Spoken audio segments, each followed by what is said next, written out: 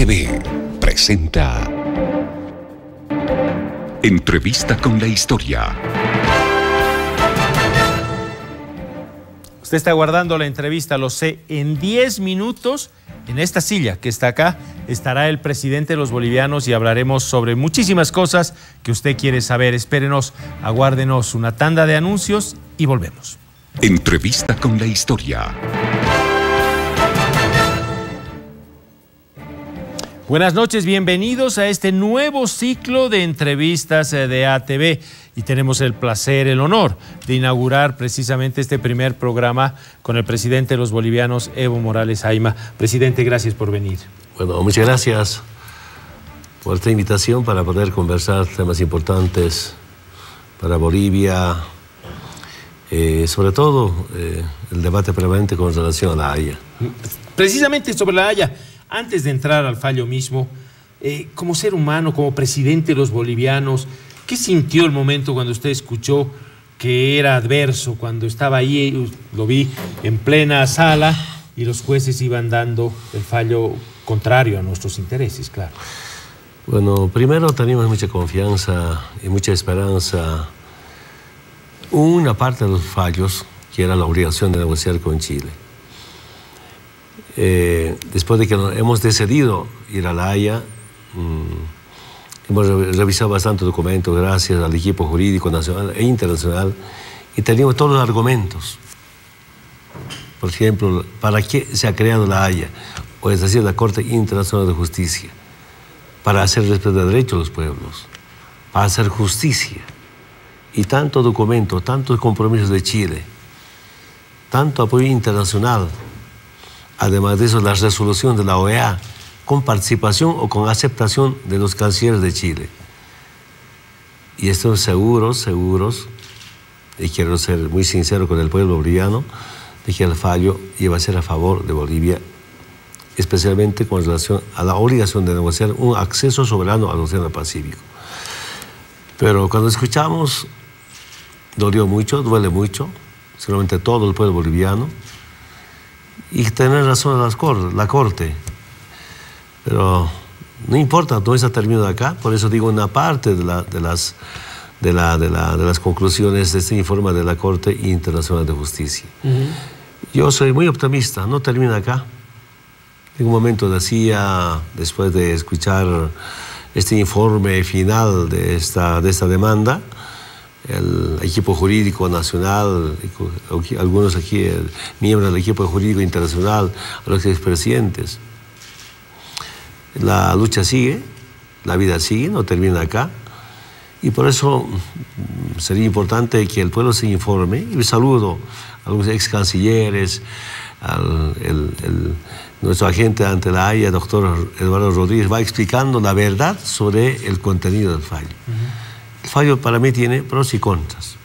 El fallo tiene ventajas y desventajas. Y el pueblo tiene que saber eso, porque lamentablemente algunos grupos hacen aparecer como estaría todo perdido, que es totalmente falso. Bueno, la mayor parte de los bolivianos piensa como usted, porque una encuesta que ha publicado los periódicos Los Tiempos y El Deber señala que el 80% de los bolivianos, y que es similar en El Alto, en Cochabamba, en Santa Cruz, en La Paz, hay diferencia de un punto, pero no importa, el 80% de los bolivianos creemos que todavía hay vías para la recuperación marítima. Yo siento que hay muchas vías todavía, especialmente tomando en cuenta eh, el, el mismo fallo de la Corte Internacional de Justicia. Pero no solamente los bolivianos. Acabo de informarme, por ejemplo, hoy día, que más del 70% de los chilenos afirman y reafirman que hay un tema pendiente con Bolivia. El 73% lo publicó La Tercera, que es un periódico serio. Imagínense. Y un porcentaje también piensan que hay que dar sobre el tema del mar con soberanía en el pueblo chileno. ¿Eso qué hace ver? Evidentemente, como, como en los años de la invasión chilena hacia Bolivia, el año 1879, en grupos oligárquicos contranacionales, eh, extranjeros, invadieron con fines netamente económicos. Pero a esta altura eso se repite escuchando la opinión del pueblo chileno. Ahora, además de estas encuestas, hay la búsqueda de otras vías, porque Pienso que de momento no se va a poder negociar con Chile, por lo menos por un tiempito, unos meses, unos años. Piñera está muy cerrado y aunque nosotros quisiéramos hablar, Piñera ha sido claro. Pero me parece que debemos buscar otras vías hacia la salida al mar. Vamos a buscar otras vías justamente agarrado de los documentos que deja ahora eh, la Corte Internacional de Justicia. Y, y eso nos sirve totalmente. Y por eso el optimismo personal, como también ahora conversando con otros sectores sociales, en las reuniones, en estas visitas que hago a, a los, a los municipios, conversando, eh, y algunos hermanos que no están informados, pues hay dolor, como todo se perdido, y que creo que es importante seguir informando, aclarando la verdad en base al fallo de la Corte Internacional de Justicia. Presidente, ¿nos equivocamos en algo en La Haya al plantear lo nuestro o eh, simplemente fue que los jueces fallaron conservadoramente? Yo digo que no hay ningún error. La defensa eh, bien argumentada, bien planteada. Yo siento que ha habido miedo de la Corte. Ya. Miedo de la Corte en obligar la obligación de negociar, tomando en cuenta el contexto internacional. Solo te pongo un ejemplo. Palestina, Israel. Claro. Si la Corte dice tiene la obligación de negociar, ¿cuántos problemas se presentarían a la Corte? Ese es mi cálculo. Yo estaba comentando el día martes cuando llegué eh, al vicepresidente en esa reunión, pequeña reunión que hicimos en Alto. Después de entrar a la reunión retornando, descansé un rato, me desperté y pensé, ¿por qué la Corte puede fallar la obligación de negociar? Porque hay argumentos jurídicos en base a, las naciones, a la Carta de las Naciones Unidas, Pacto de Bogotá, tantos argumentos. Y el compromiso chileno, además, compromiso varias veces. chileno. Todo un continente dice que hay que resolver el tema del mar, como, como América, las resoluciones de la OEA. Entonces, ¿Por qué?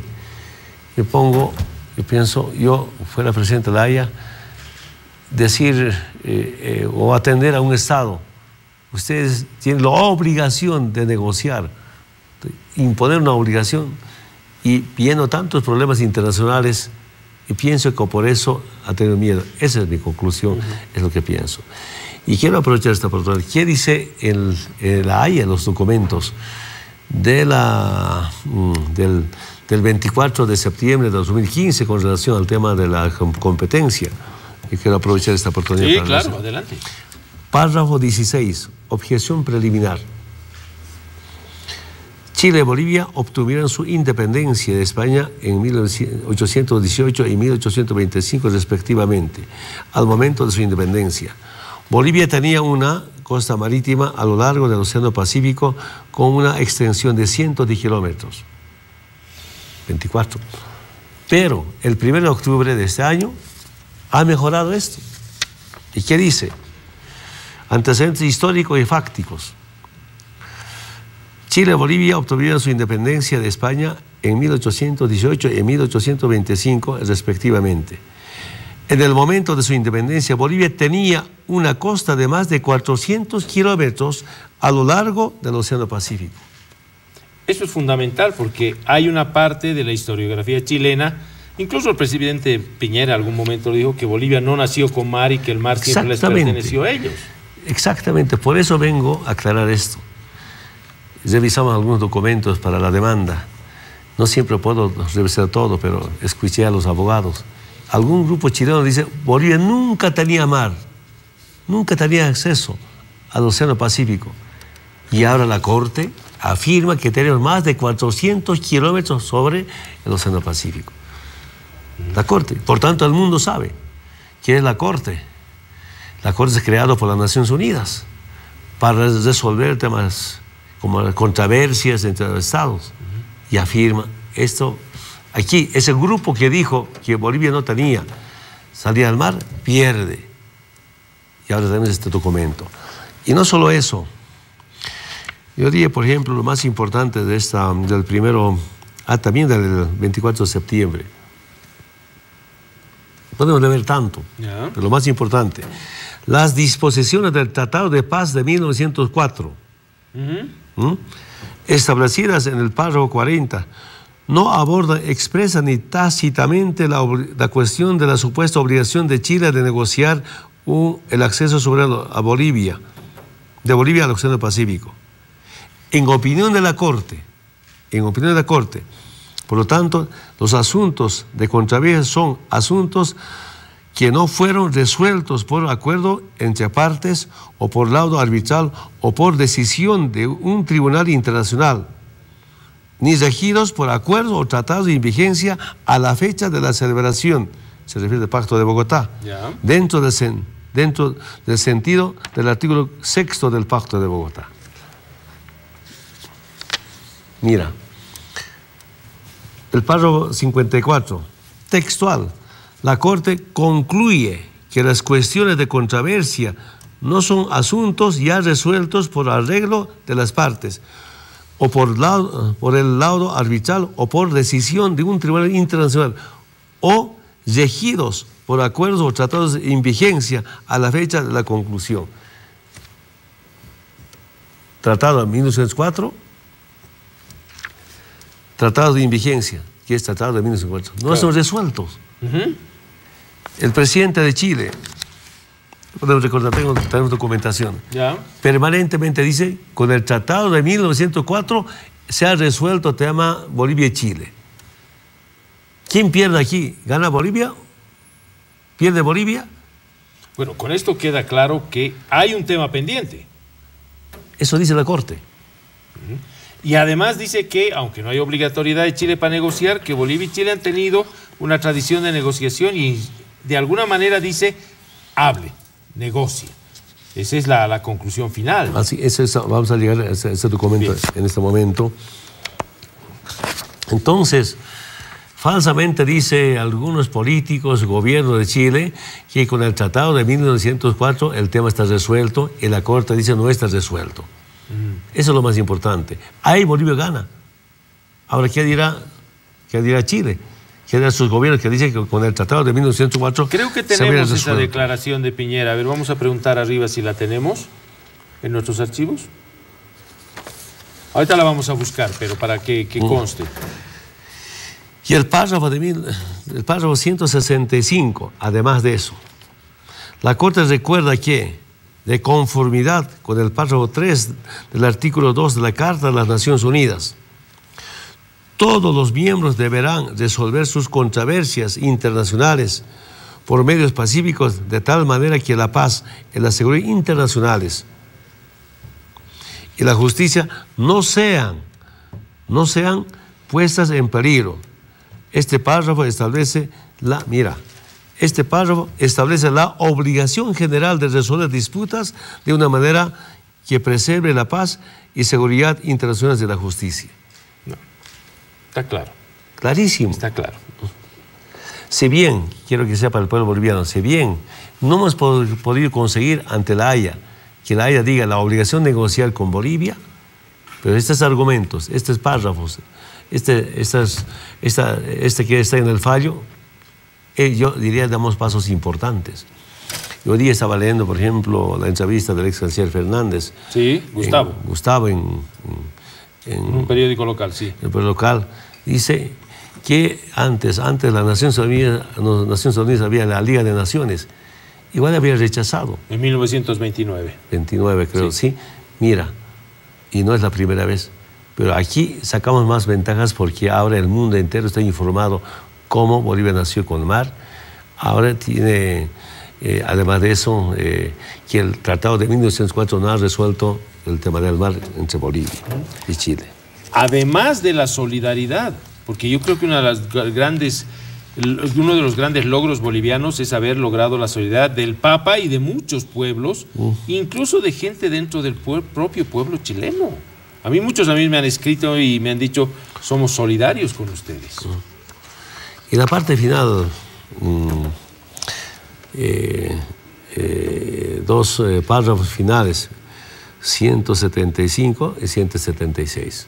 En 175 evidentemente dice, no, hay, no puedo obligar a Chile a negociar. Pero el 176, otra vez, ¿qué dice? La Corte, no obstante, la conclusión de la Corte no debe entenderse como un impedimento a que las partes continúen su diálogo e intercambios en un, en un espíritu de buena voluntad, con el objeto de abordar asuntos relativos al enclaustramiento de Bolivia, cuya solución ambas han reconocido como un asunto de interés mutuo. Con la voluntad de las partes es posible realizar negociaciones significativas. Claro. No La- puede obligar, pero invocamos a seguir dialogando. Y yo creo que eh, cuando la derecha chilena no gobierne ese país, las cosas van a cambiar. Hay un sentimiento en Chile de que se debe solucionar esto. Eso, eso nos sorprende eh, esta encuesta de hoy, ¿no? que hay un tema pendiente, hay interés resolver, pero yo a veces me preguntaba, si bien la Corte dice no hay una obligación de negociar, pero con esa, ¿a quién favorece? Por supuesto, no nos favorece a Bolivia, Pero ellos se perjudican también. pero tampoco al pueblo chileno. Claro. Favorece a siete empresas que están en toda la costa chilena. Siete familias que son Siete dueñas del mar chileno, sí. Es impresionante. Ah, esa es nuestra profunda diferencia si hablamos de políticas, de, de temas sociales, de programas sociales. Bueno, cada estado, por supuesto, tiene su derecho de decidir cuál es el, camino, el mejor camino para su pueblo. Respetamos su- sus políticas de privatización, pero eso no favorece al pueblo chileno. Es otra diferencia. Presidente, haremos un pequeño cortecito, volvemos ya con la declaración de Piñera y también le voy a preguntar sobre Puerto Bush, le voy a preguntar sobre Hilo. Las otras opciones nos han cerrado una puerta, pero hay otras puertas también para salir de la casa. Ya volvemos enseguida. Entrevista con la historia.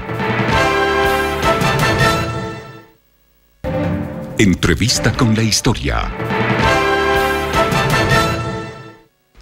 La Corte Internacional de Justicia de La Haya ha hecho justicia y ha puesto las cosas en su lugar, estableciendo en forma clara y categórica que Chile nunca ha tenido, tampoco tiene, ni nunca ha incumplido ninguna obligación en materia de derecho internacional ni en sus relaciones con Bolivia.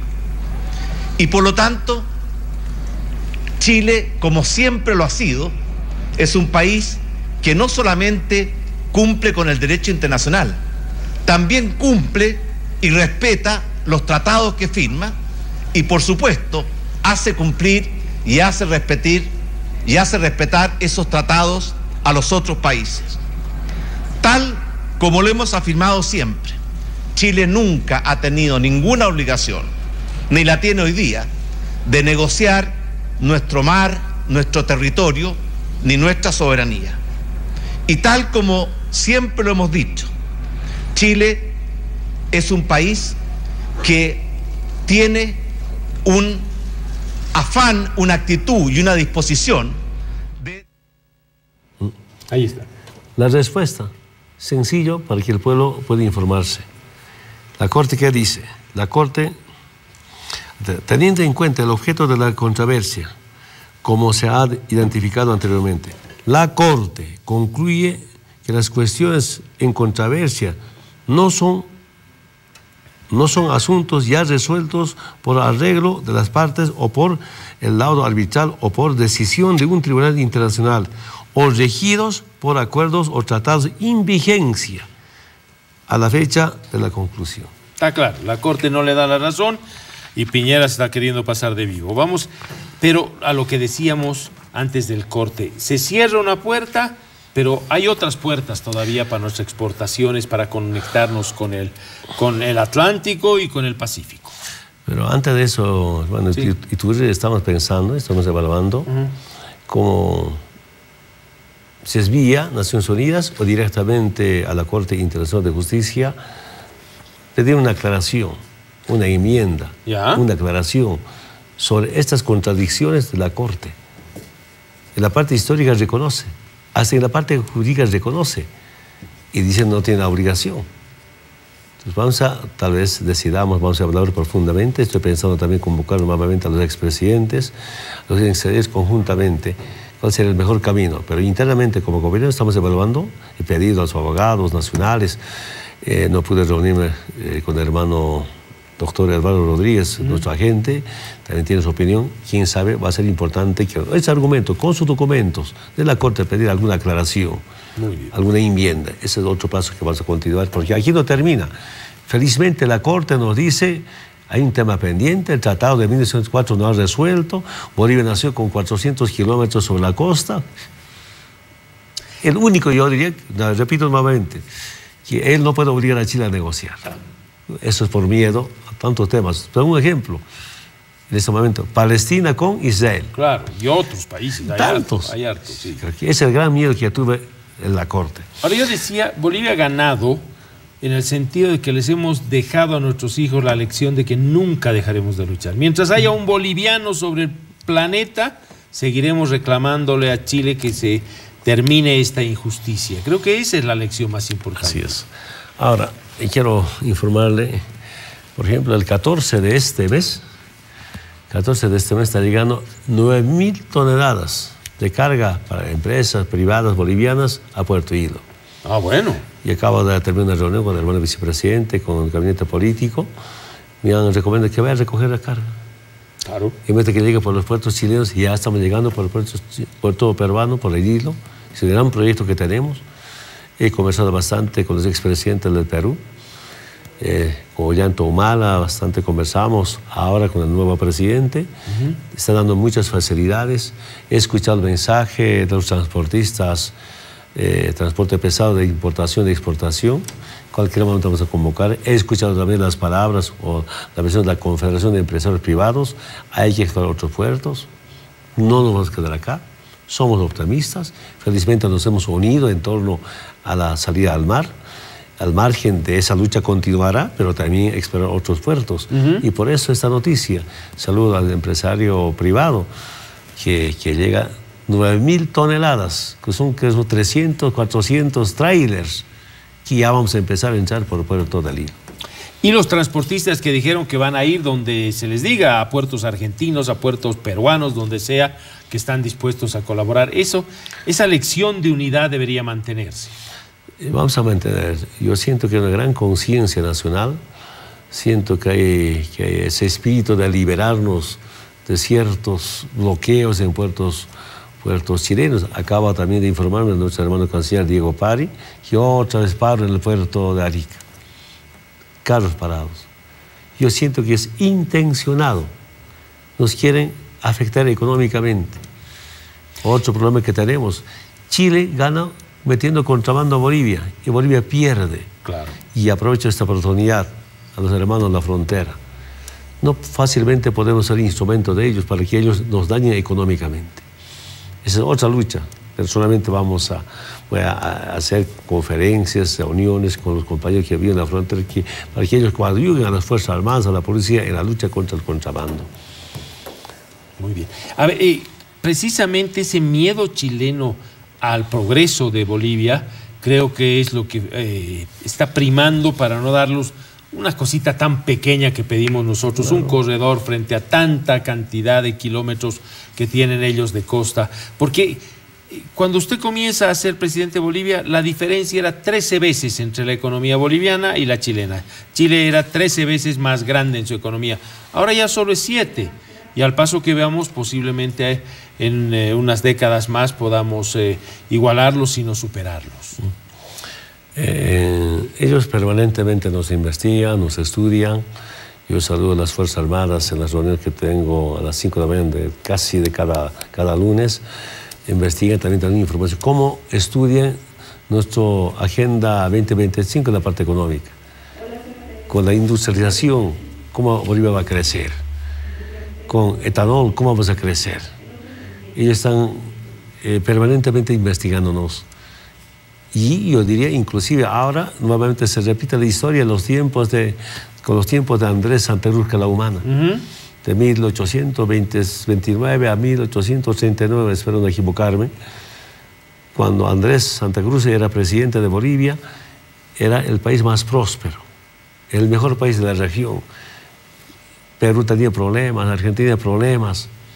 Aunque en Chile siempre manejaba las oligarquías en esos tiempos. ¿Y quién ha dado golpe de Estado? ¿Quién ha dado golpe de Estado? Andrés Santa Cruz, la oligarquía chilena, con la oligarquía boliviana de entonces. Su detención en Chile, expulsada de Europa. Y ahora, cuando presidente y expresidente dicen que no dialogo con Evo, es otra conspiración a nuestro proceso, a la revolución democrática cultural. Quieren vetar, quieren buscar otro seguramente, de otra línea política para poder hablar y otra vez perder, perder otros más de 100 años dialogando, pero nunca resolviendo los problemas con Chile. Entonces, yo siento que eh, llegó la hora más bien de esta unidad, ¿no? Unidad, pero también seguir fortaleciendo nuestra economía. Usted sabe que hoy día inauguramos una planta de cloruro de potasio en, en, Salar de Uyuni. Sí. Y en ese momento comentábamos llamando a algunos hermanos, cómo ha quedado contento la gente porque estamos dando pasos importantes, que es parte, que es parte de nuestra agenda patriótica en la parte económica. y el cloruro de potasio, para quien no lo sepa, es muy importante en la medicina, por ejemplo, para el tratamiento de diarrea y otros males, pero también es un fertilizante muy importante y además sirve también para el reciclado del aluminio, o sea que mercado para el cloruro de potasio hay. Mm. Y esta es parte ya de la industrialización en el salar. A propósito, ¿cómo estamos en lo del litio? Eh, un temita más para complementar. Dentro de las industrias que existen en el mundo sobre el cloruro de potasio, estamos en el noveno lugar en el mundo. En América Latina estamos en el tercer lugar. Yo en mis términos populares digo, ahora con las potencias fácilmente podemos codearnos quiénes somos. Claro y además de eso, quiero que sepa el pueblo boliviano, esta industria del Estado, del pueblo boliviano, y con la plata del pueblo boliviano hemos gastado 188 millones de dólares de nuestras reservas internacionales. Y va a producir 350 mil toneladas año. Nos ajustamos lo mínimo. Vendiendo la tonelada, tonelada en 220 dólares solamente 200 mil toneladas al año, en cinco años pagamos nuestra deuda. Claro, es una inversión. Claro, una inversión. Y con nuestra plata, además de eso, 100% de Estado. Ahora, y como hemos avanzado, yo me acuerdo perfectamente que, que países europeos, asiáticos, especialmente eh, las privadas, solo pensaban en llevárselo a la materia prima. Y me acuerdo cuando viajé a Corea del Sur, me llevaron a la autoridad a ver una planta de batería de litio. Y pregunto, ¿cuánto cuesta eso? 300 millones de dólares. En ese momento pienso, ¿cómo yo no puedo conseguir 300 millones de dólares? Vamos a conseguir. Y hagamos gemela de eso en Bolivia. No, no, no, no. Claro. Son ceros, ceros en la parte del conocimiento científico, transferencia de tecnología, no quieren eso. Ya, me aguanté. Y ahí viene la idea con el hermano vicepresidente, no, tenemos que empezar nosotros eh, industrializar nuestro, nuestro litio. Empezamos los laboratorios, ya la planta piloto. Una, una vez fui a visitar al Salar de Uyuni, jóvenes profesionales estudiando, aunque bajo el asesoramiento de extranjeros, todo el laboratorio trabajando daba ganas de llorar, hemos empezado, preguntaba de dónde estudian ustedes, en UNSA, en Tomás Frías de, de, Potosí, en Uto de Oruro, algunos de la EMI, todos bolivianos jóvenes.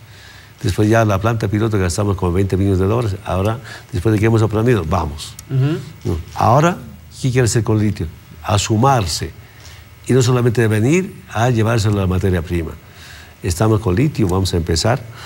Eh, mm, en Bolivia para, para llegar hasta batería de litio. Es el gran proyecto que tenemos. ¿Con el gas? Eh, con el gas falta la petroquímica, está suspendido temporalmente, que tiene que ser en, en Yacuiba, pero ese es un proyecto grande. Con hierro estamos ya empezando en... En, en, en Mutum. En Mutum, ¿no? Ese es otro proyecto grande. Etanol, se imaginan ustedes. Ese es un gran proyecto, al margen de lo que hicimos las plantas separadoras de líquido, la planta GNL. Usted sabe por qué el pueblo se ha levantado. los ebeneristas, los miristas, los adanistas querían instalar una planta de GNL en puerto chileno, no del Estado, sino de empresas privadas, de mandar gas a Estados Unidos. A California. California. Ahí se levantó el pueblo chileno, pueblo, pueblo, pueblo boliviano. Y ahora tenemos una planta de GNL, y estamos atendiendo acá, vamos a atender al Perú, a otros países ya están negociando. Otro tiempo importante que recordar la nueva generación. Cuando llegamos al gobierno, solo se exportaba gas natural. Y el GLP se importaba. Yo no podía entender cómo vamos a importar GLP. Y la primera tarea era instalar la planta separadora de líquidos en Río Grande. A partir de ese momento ya no, ya no, ya no importamos, más bien poco exportamos, y con la planta de Yacuiba, más todavía. De Carlos Villegas. Carlos Villegas. El 95% de GDP de Paraguay es que nosotros mantenemos a Paraguay. Claro, porque antes les dábamos todo el gas rico, con todo, con los líquidos y gratis. Así es. Y ahora estamos separando. Así es. Presidente, vamos a hacer otro corte, permítame. Muchas gracias. Enseguida volvemos. Entrevista con la historia. Entrevista con la historia. Continuamos con el presidente de los bolivianos. A ver, hablando de fertilizantes que tienen que ver con ese cloruro de potasio, con la industrialización de la urea y todo eso, ¿cómo vamos con el tema de seguridad alimentaria, presidente? Mira, al margen de ya no importar fertilizantes, porque antes se importaban fertilizantes de Canadá, de Estados Unidos, Estados Unidos donaba permanentemente, de Japón se compraba, Japón también donaba, a terminar eso. Ahora estamos exportando fertilizantes. Antes se importaba, ahora se exporta. Es un cambio profundo. Y, por ejemplo, con la urea que viene del gas, hay buena información, está mejorando la producción agropecuaria. Pero una cosa fertilizante, lo otro es importante, el riego. A mí me, antes me, entrega, me gustaba entregar unidades educativas, campos deportivos. Ahora me está gustando entregar e inaugurar sistemas de riego. Como las hermanas del campo lloran en ese momento. Antes solamente tenía tierra, pero sin agua Ah, no no hay nada. producción. O es producción solo anual. Ahora todo el año produce. Hay un problema que se presentó. Que como hay mucha producción de pequeño y mediano productor y el precio está bajando. Por eso esta mañana en Santa Cruz recomendaba cómo tener pequeños proyectos de industrialización, al margen de grandes proyectos de industrialización. Entonces, mm, mm, vamos bien, eso es lo más importante. El trigo siempre va a ser un problema todavía, porque hay una, no hay una tanta una mentalidad de, de producción de trigo. Máximo ha llegado a un 50, 60% de producción, otros bajamos, subimos, bajamos, subimos, y que también un poco está subvencionando el tema del consumo del pan y la subvención afecta para mejorar también la producción. Yo tengo mucha esperanza que vamos a ir mejorando el tema de producción agropecuaria. Nuestra política, ¿qué es? En tema de industria agropecuaria. Pequeñas, medianas, ahora grandes también, como con San Buenaventura. No quisiéramos obreros agricultores. Quisiera que los pequeños, medianos productores en tema agropecuario, agropecuario sean nuestros socios. Nos garantizamos la industria como Estado, ellos materia prima. Y todos ganamos. Bueno, es el caso del azúcar para el etanol, ¿no? Son pequeños productores y medianos productores de caña que van y venden a los ingenios para que ahora puedan producir el alcohol. Así es, ese es, es el modelo. Y este modelo está siendo replicado en algunos países, está investigando. Porque ah, en algunos países era Estado, dueño de la industria, también de la materia prima. Y campesinos, obreros. Ahora no. Y en otros, en otros casos, el, el, privado, dueño de la industria, pero también su, su, su, su, su, su materia prima. Ahora no. Ese es nuestro modelo y eso vamos a ampliar en muchos productos agropecuarios. Ahora, eh, hablan mucho en Santa Cruz de Puerto Bush para poder tener el ingreso hacia el Atlántico. Eh, cualquier eh, cualquier um, problema que se presente como de la Haya, con esta no obligar a Chile para negociar un acceso soberano al Océano Pacífico, nos obliga ahora a mirar otras formas de cómo resolver nuestros problemas. De, una, de un, si no es error, pero de un problema, una oportunidad. Y hay nuestra obligación ahora priorizar, así como el tren oceánico, pero sobre todo el Puerto Buch. Ahí tenemos dos propuestas. Se va a hacer ferrocarril del Mutú hasta Puerto Buch, va a ser una, una, un río artificial para exportar o camino carretero. Camino carretero ya tenemos avanzado. Consolidamos eso, eso camino carretero, ferrocarril.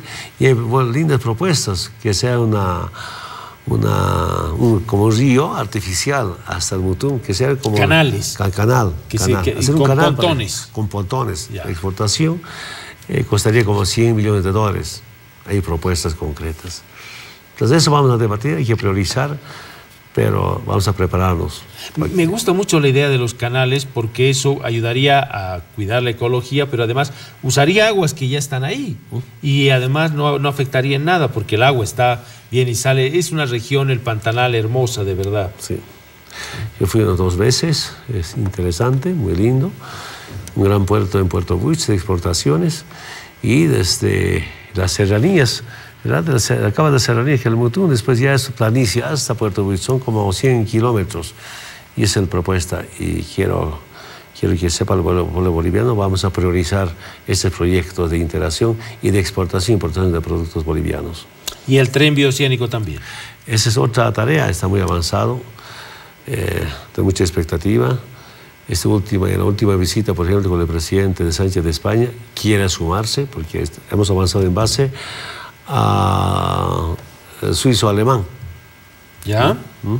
Está previsto, eh, estamos en gestiones, como viajar, acordar nuevamente con la primera canciller de Alemania, eh, Angela Merkel. Angela Merkel. Esa es una otra responsabilidad. Tenemos tantos negocios. Aquí quiero decir un pequeño paréntesis, hermano. Mira, antes tal vez llegaba plata de Europa, de Europa con motivo de ayuda, eh, directo de Estado a Estado, cooperación o, o ONGs o privadas. ¿no? Ahora más bien la plata se va de Bolivia a Europa con la compra de tecnología. Yo hablé, hablo directamente, usted sabe que soy muy sincero, muy directo y en mis términos. Digo, está pasando eso. Ya, eh, con el Parlamento Europeo que ha visitado, hemos decidido cómo avanzar un acuerdo comercial yo dije, respetamos su libre mercado, pero aquí tenemos una política de complementariedad, de comercio de complementariedad. Que quedamos, hay que combinar las dos cosas. Algunos rubros pueden ser de competitividad y algunos de complementariedad. Y hemos acordado y he pedido al canciller para que pueda acelerar estas negociaciones para tener un acuerdo comercial con Europa, para justamente para bajar esta, e, este déficit en comercio. Estamos, tenemos un déficit nosotros más compramos, ellos poco nos compran. Claro. Pues tanto nos tienen que comprar. Yo les digo, sin ser tanta, sí, Eva, hay que mejorar, vamos a comprar, estamos en tarea. Ahora, en tema del tren, España quiere sumarse, Rusia quiere sumarse, tengo información, está averiguando, también quiere sumar, sumarse a este proyecto Inglaterra. Este, no estamos solos, porque esto va a ser como otro canal de Panamá. Claro. Eso es en el fondo. Y si hablamos de tiempos Incario, es el Capaján de aquellos tiempos. Es gran proyecto apoyado por UNASUR. Y felizmente los países de Europa se suman para este canal de Panamá, tren oceánico. Además eh, de países de la región como Perú, como Brasil, como Paraguay, que también van a ser parte de este tren bioceánico, ¿no? Casi el 50% de los países de Sudamérica se beneficia. Directamente tres países, en Paraguay, Uruguay, incluso Argentina, nos han planteado oportunamente cómo ser parte por río Paraguay, Paraná, Paraguay. Es un gran negocio el que vamos a hacer. Me alegra mucho y creo que todo esto está mostrando que la economía boliviana va a seguir creciendo como ha venido creciendo en los últimos años, con datos de incluso del Banco Mundial, ¿no? Sí, a mí me ha sorprendido. Eh, hoy día nos llega este dato del Banco Mundial y crecimiento económico en Sudamérica. La venta de Argentina con menos de crecimiento, Brasil con 1.2%, Chile 4%, así, pero Bolivia primero en Sudamérica nuevamente. Informe del Banco Mundial, 4.5% de crecimiento. Nos sorprende, y en toda América. Con Panamá empatados, 4.5%. Pero nos gana República Dominicana, 5.8% de crecimiento, 2018. Antes Bolivia nunca aparecía con los datos de crecimiento económico. Ahora, por quinta vez, primero en el crecimiento económico en Sudamérica. Es el modelo económico que hemos parido mediante la Asamblea Constituyente, pero también con la lucha de los movimientos sociales. Esto nos alienta bastante. Yo casi seguro, espero no equivocarme. Finalmente nos equivocamos porque somos seres humanos. El próximo año, mi estimación, sin consultar al Ministerio de Planificación, sin consultar al Ministerio de Economía o expertos en temas de inversión, eh, los que evalúan permanentemente el tema de crecimiento económico, mi cálculo del próximo año puede ser 5%, de crecimiento económico. Ahora, qué importante es que sea sostenido, porque Chile, evidentemente este año puede crecer al 4%, pero su tasa de crecimiento ha sido del 1.7 los últimos años. yo tengo datos acá, por ejemplo, 2006 era 1.3, 2016, 2016, perdón, 2017 1.5, 1.3, 1.5, ahora 4%. Pero además de eso, ¿cuál es la diferencia? Allí crece, como también Paraguay, perdón, Panamá, en base al sector privado y no bajo la inversión del Estado. ¿Cuál es la diferencia? Entendí así. La diferencia es cuando el Estado invierte, las utilidades de esa inversión es para el pueblo. Cuando el crecimiento económico de un país es en base al privado, las utilidades, por supuesto, han respetado, también en Bolivia, pero es para, es para, para, el privado y no es para el pueblo. Aquí nosotros, con nuestras utilidades, no descuidamos al aspecto laboral, pero también inversión en el aspecto social. Esa es nuestra responsabilidad, es la ventaja que tenemos. Vamos a ir a otro corte enseguida. Cuando volvamos, vamos a hablar eh, de los jóvenes, las perspectivas, el futuro. ¿Qué les eh, va a decir el presidente de los bolivianos a aquellos muchachos, muchos de ellos que ni habían nacido cuando Evo comenzó su presidencia? Ya volvemos. Entrevista con la historia. Entrevista con la historia. En su mensaje a los bolivianos del 6 de agosto, el presidente decía que mínimamente hasta el 2025 la economía boliviana registrará 50 mil millones de dólares de Producto Interno Bruto. Presidente, ¿vamos a poder cumplir eso? porque es un salto. Eh, creo que usted estaba antes de ser gobierno en los 10 mil, 9 mil 500 millones de dólares de PIB y hemos pasado ahora a 37 mil 800, 38 mil, digamos, pero llegar a 50 mil. Mira, mm, algo novedoso, cuando llegamos al gobierno, redondeando, eh, nos dejaron en 180 años con 9 mil millones de dólares del PIB. Y en dos años, 28 mil millones de dólares. Y el año pasado llegamos, llegamos a 37 mil millones de dólares. ¿Y ese milagro por qué ocurrió? Yo sigo convencido, es la nacionalización, pero también tomamos algunas políticas importantes. Por ejemplo, el tema de austeridad. Yo me acuerdo siempre de 40 mil bolivianos, 40 mil bolivianos que ganaba el presidente a 15 mil. A veces también me ha dolido cómo a los funcionarios, los servidores subalternos hicimos sufrir. Un año hemos dado un bono de mil bolivianos, pero después de que empezó a crecer nuestra economía, ya hemos incrementado, incrementado, incrementado. Quiero nuevamente refrescar la memoria al pueblo boliviano. De diputado yo ganaba 25 mil bolivianos, de presidente 15 mil bolivianos. Ahora estoy ganando como 21 mil bolivianos. Todavía lo que ganaba diputado no gano de presidente. ¿no? Es toda una política de crecimiento económico, de inversión, pero también austeridad. Y con esta plata que hemos atendido, el tema de educación. Había una demanda histórica de ítems. Tenemos todavía, pero muy poco. Usted recuerda, al inicio del año todos los departamentos marchaban por tema de ítems. Ahora no hay. Algunas regiones, la población también va creciendo. Eh, al margen de la nacionalización, al margen de los programas económicos que hemos implementado, ha sido importante, fundamental para el crecimiento económico el tema de la nacionalización. También quiero expresar mi preocupación. Las reservas internacionales, ¿cuánto eran? 1.700 millones. En 2014 llegamos casi a 15 mil millones de reservas internacionales. Ahora estamos como con 10 mil millones. Yo me pregunto, ¿por qué hemos bajado? ¿Cómo hay que subir?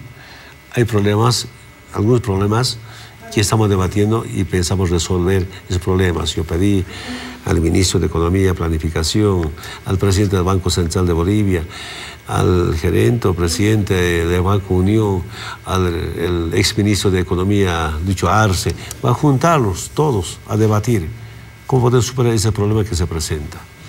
Pero de 1.700, 10.000 millones sigue siendo plata.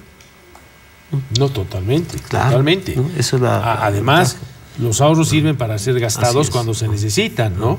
Para que te permitan después ahorrar Así más. Es. Y las nuevas generaciones deben estar convencidos. Mínimo, mínimo, mínimo vamos a tener 50 mil millones de dólares al 2025. Tal vez vamos a estar sobre 60 rumbo a 70 mil millones. Ahora, eso molesta a algunos países como Chile. Es una verdad. Porque ya no hay esas diferencias profundas esas asimetrías en temas económicos entre Chile y Bolivia y con otros países. Y también si quisiéramos revisar, por ejemplo, eh, el salario mínimo nacional, antes era el último, ahora ya, no es el último Bolivia en salario mínimo nacional. Eso decía ese momento que sin descuidar el aspecto laboral, ¿no? estamos garantizando la inversión para el crecimiento económico. Presidente, Bolivia es un país eh, lleno de jóvenes. A diferencia de Europa, de otros países, aquí todavía hay una gran cantidad de jóvenes, los jóvenes van a ser mayoría. ¿Qué futuro les espera?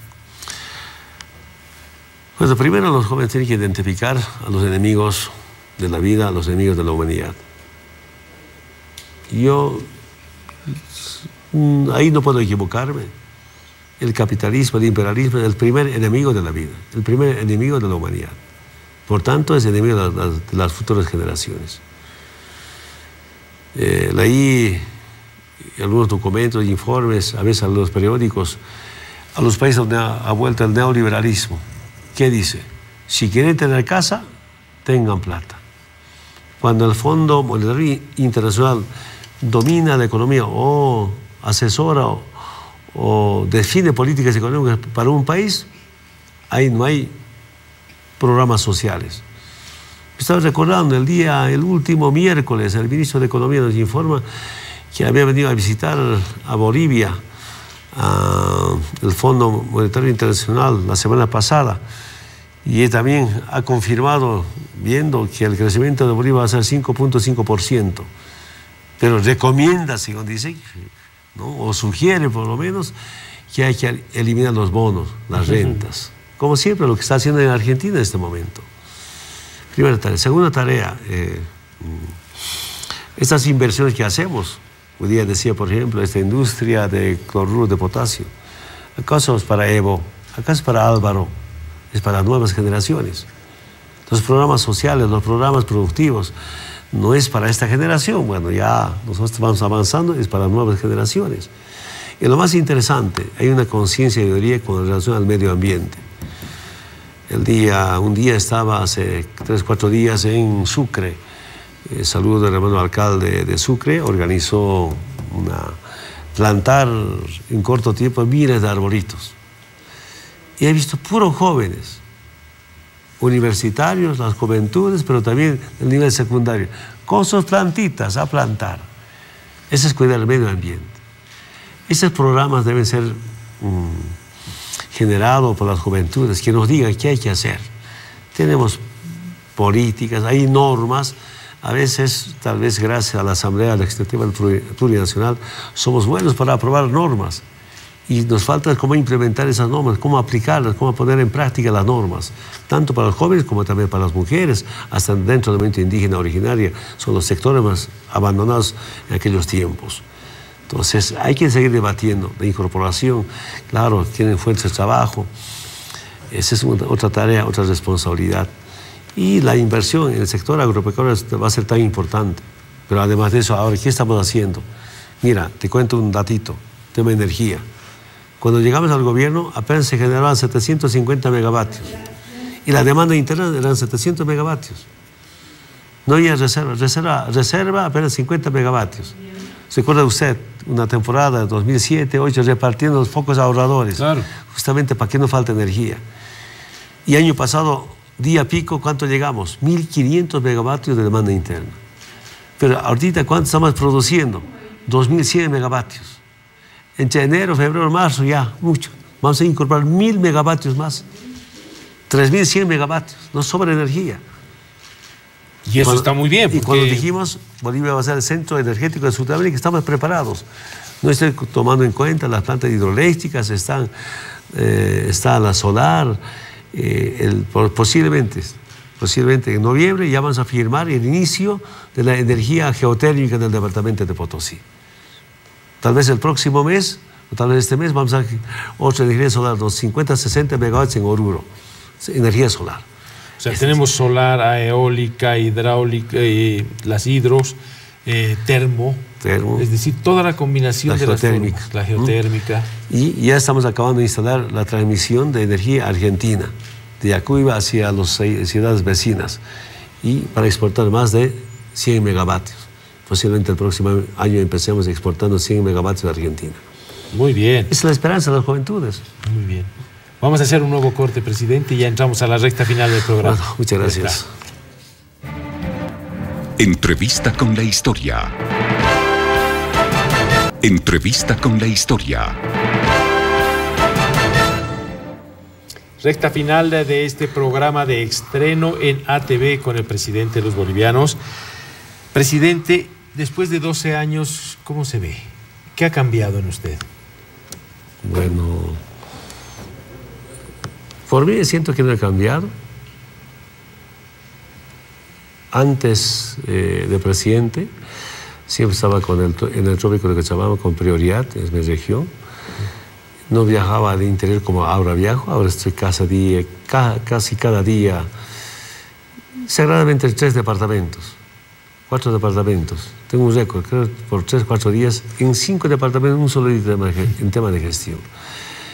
Y tal vez posiblemente no tengo tiempo, a veces los compañeros preparan una comidita, almuerzo, desayuno, porque tengo que llegar a otro acto, le digo, por favor, meta el helicóptero, el carro, el avión, la comida, voy comiendo el helicóptero en avión, posiblemente se me puede molestar porque con cariño preparan la comida.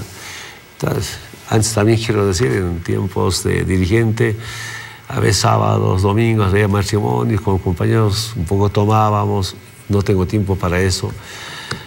Pero yo pienso que lo mismo, sigue jugando como siempre antes jugaba, por ejemplo.